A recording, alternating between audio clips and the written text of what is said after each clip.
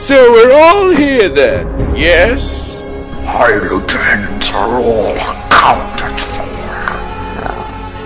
As you know, gentlemen, most of my Boss Brigade warriors were slain in the battle against the Fiendish Five. They were expendable. We'll get you some new men soon enough. Easy for you to say. Two of my best warriors lost their lives in that battle. Best warriors? You call those morons warriors? One of them had to be rebuilt for the battle. Hell, the other didn't even kill anybody. Army Dillo and Dogadon were the two most incompetent members of my entire boss brigade. You dare insult my experienced fighters? And another thing. Why in hell's name do you outrank me? At least I've busied myself in taking down multiple threats to our faction. You, on the other hand, have sat around, as would be expected of the lazy slob that you are. How could someone like you be an equal partner in this group while I'm just a lackey? Those are fighting words. And it's a fight I'm willing to have. Shut up! Or I'll roast you both. Errol, know your place. K. Rool, we have you as a partner in our faction. Act like one. Anyways, it is high time we all understood the full scope of our plan. I presume you have noticed our collection of princesses.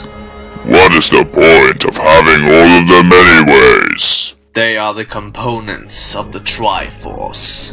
Once the Triforce is complete, I will have the capacity to satisfy my deepest desire.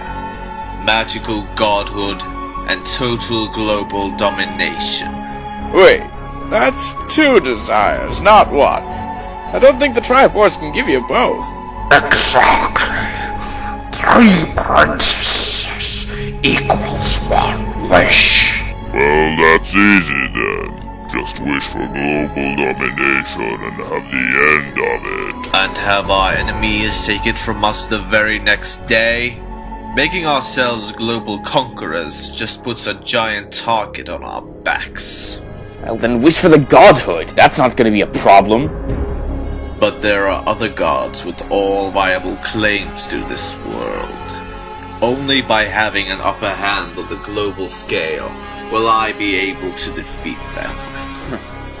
Then by the looks of it, you're going to need three more princesses. Ah, I see it now. You're going to put six princesses in the arrangement of one giant triangle with another triangle inside of it. It's brilliant, if I do say so myself. Ever since my fight with Kessler, my magic has been woefully depleted. Our dual Triforces will restore that power, and more. All we need are the other three princesses. Farah, Ashlyn, and Kyrie.